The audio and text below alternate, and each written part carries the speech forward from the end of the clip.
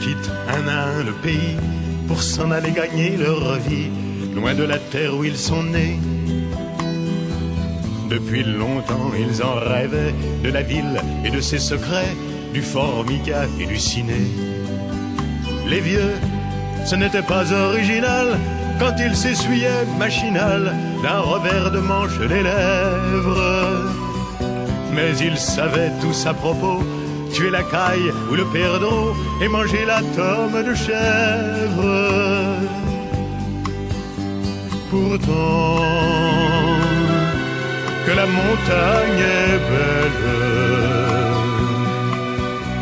comment peut-on s'imaginer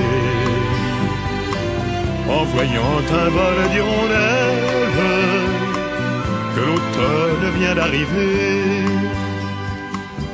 Avec leurs mains dessus leur tête, ils avaient monté des murettes jusqu'au sommet de la colline. Qu'importe les jours, les années, ils avaient tous l'âme bien née, noueuse comme un pied de vigne. Les vignes, elles courent dans la forêt, le vin ne sera plus tiré, c'était une horrible piquette. Mais ils faisaient des centenaires à ne plus que savoir en faire s'il ne vous tournait pas la tête. Pourtant, que la montagne est belle,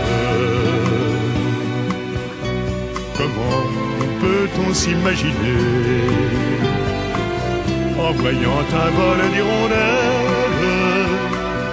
que l'automne vient d'arriver chèvres et puis quelques moutons. Une année bonne et l'autre non, et sans vacances et sans sortie.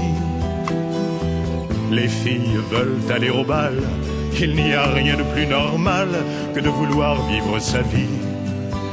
Leur vie, ils seront flics ou fonctionnaires, de quoi attendre sans s'en faire que l'heure de la retraite sonne. Il faut savoir ce que l'on aime et rentrer dans son HLM, manger du poulet aux hormones. Pourtant, que la montagne est belle, comment peut-on s'imaginer en voyant un vol d'hirondelles que l'automne vient d'arriver